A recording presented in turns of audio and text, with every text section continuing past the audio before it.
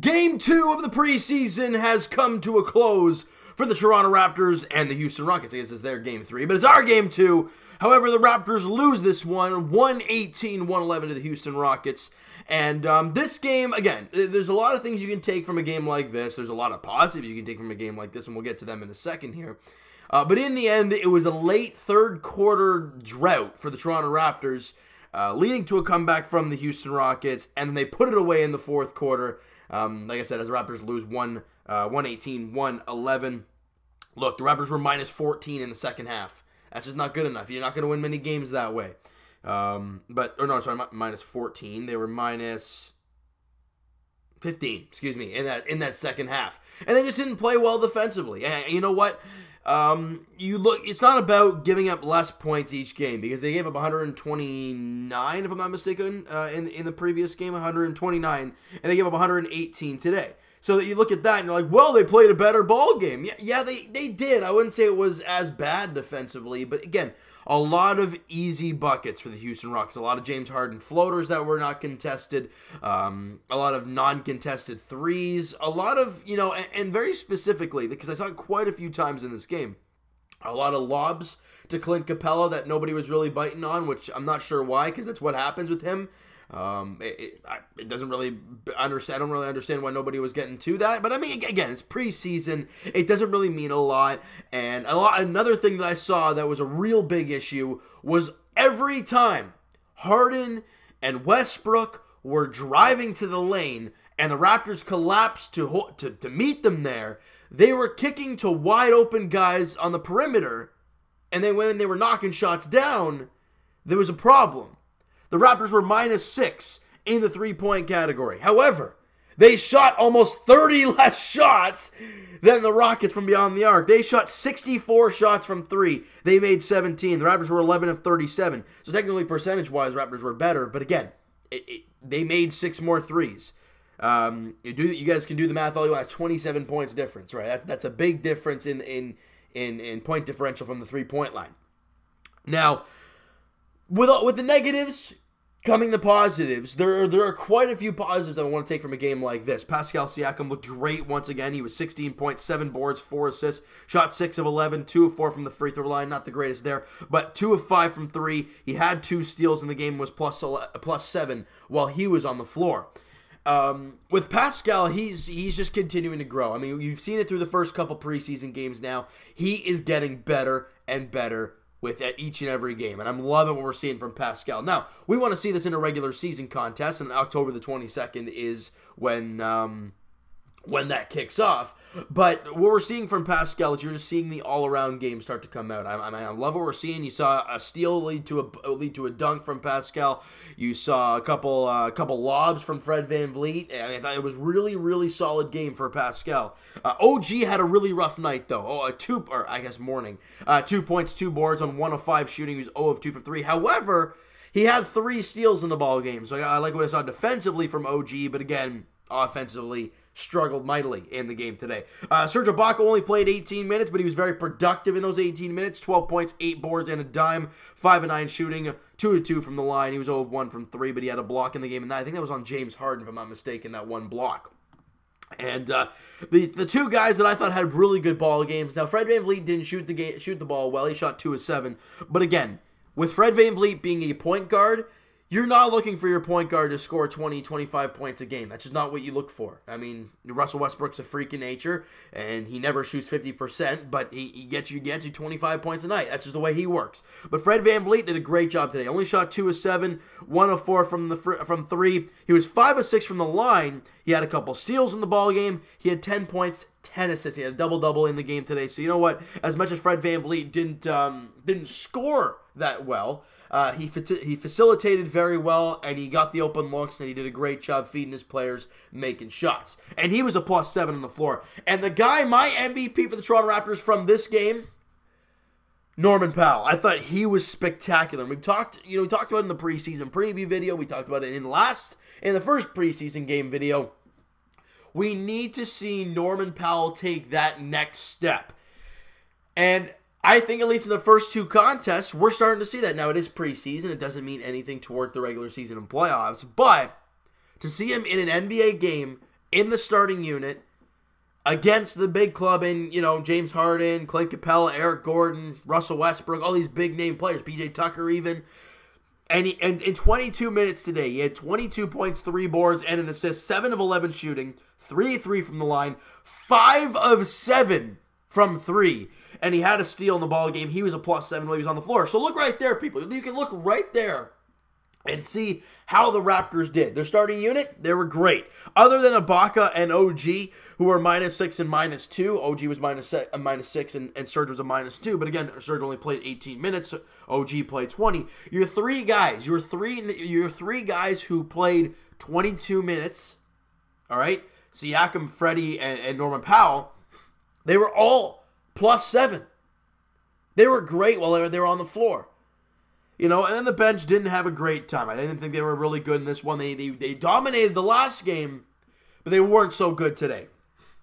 And let's go to that bench. Marc Gasol came off the bench. Good to see him out there. Only played 18 minutes though. Six board, 6.6 boards, uh, an assist on one of four shooting. He was 0-2 from three. He had three steals and a block. That's what Marc Gasol is going to give you. He's going to give you that great defense and sprinkle in some offense. But again, it's for his first preseason game. I know he played in the uh, in FIBA or it was no, it wasn't FIBA.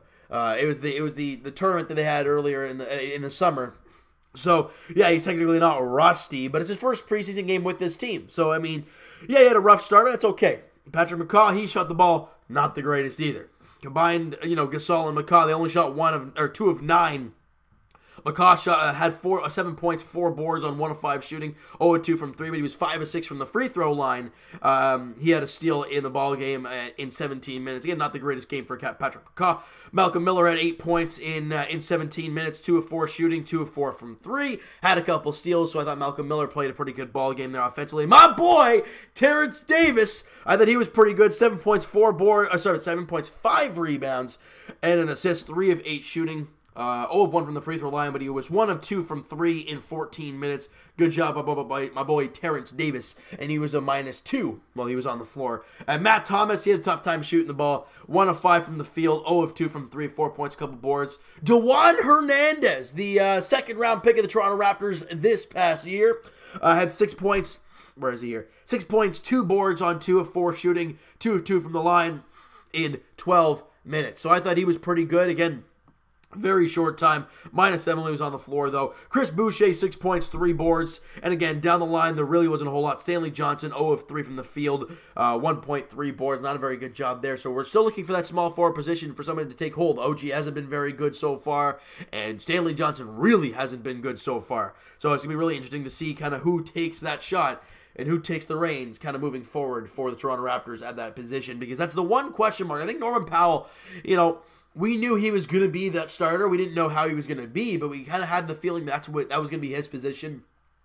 You know the point guard position. You know the power forward position with with Ibaka and probably going to be Chris Boucher. You know Marcus is going to be there with Dewan Hernandez. That's probably going to be the one, two, uh, those two positions.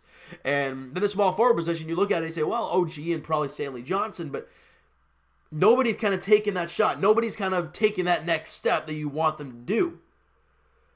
So who's gonna get the spot? I don't know. I don't know. I don't know who it's gonna be. I think OG might have the the inside scoop because he's been with this team for so long, and Stanley Johnson, the two preseason games he's been in, has not done very good. So it's gonna be interesting to see kind of how it goes moving forward. There's two preseason games left. The Raptors travel back from Tokyo, Japan, to to um, to finish off the preseason. So it's gonna be really interesting to see how this uh, team kind of looks uh, come the second, um, the, the, the last two games of the preseason. I mean, you look at it, right? Their last two games are on Sunday at 6 o'clock against the Chicago Bulls at Scotiabank Arena, I think it is, unless they're playing somewhere else.